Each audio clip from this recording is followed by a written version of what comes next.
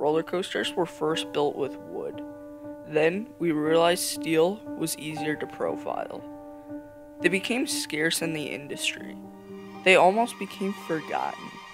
We banked the steel track in ways that could have never been imagined. And then we found solutions. Today, I'm going to be looking at the greatest wooden roller coasters I have ridden. Let's get right to it.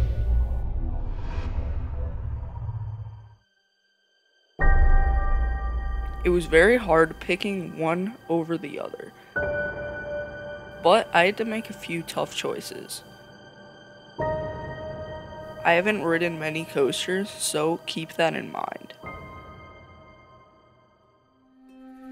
Starting it off at number 5 is Viper. I only got to ride this coaster once. The one time I rode it, I thought it was mediocre. The reason I like it so much is its length. When you get to that final brake run, this thing will leave you satisfied. It's nice to see a ride that gives you what you want after waiting so long in lines. It's worth it. I don't usually like to mention the negatives, but man was this coaster rough. Viper is praised for its airtime. But honestly, I really don't recall some of the elements. I sat in the middle of the train also, so it may not have been as strong. Up next is Zeus. I had visited Mount Olympus as a kid and always wanted to ride this coaster.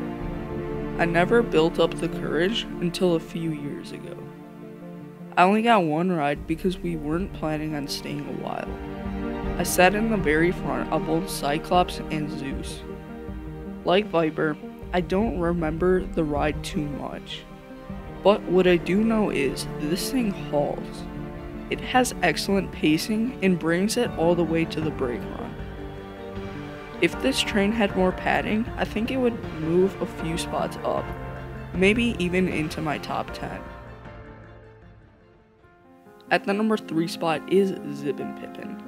This was my first ever roller coaster, so it was special to me. A few years ago, I wasn't a fan. I rode it in the front after a trip from Six Flags Great America. I really wasn't impressed.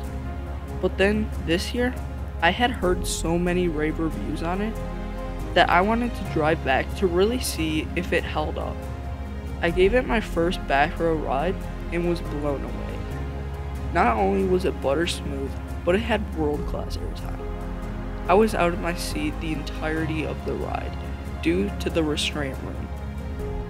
After getting off, I debated putting it at my number one spot.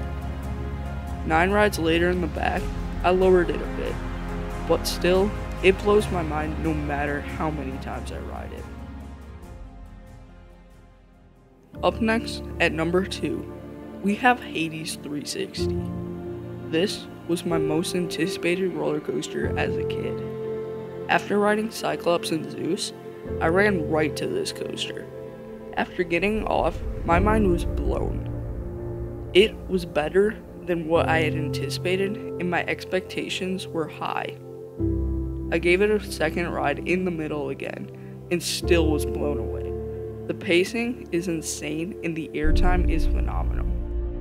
In all honesty, it isn't the most re-rideable because it gives a minor headache after two rides.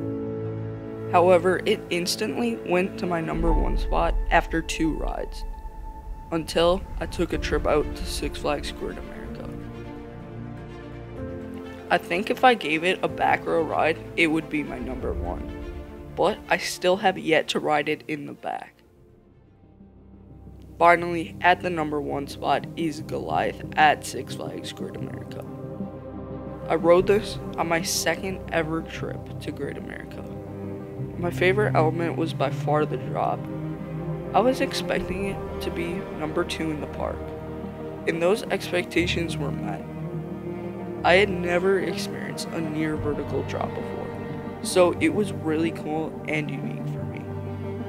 Out of the 2019 season, I have only ridden it six times. Each time I rode it, in row 2 or the front.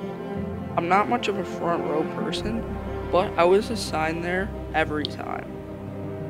I need to ride this in the back row still, but once I do, I could see this going ahead of my current number.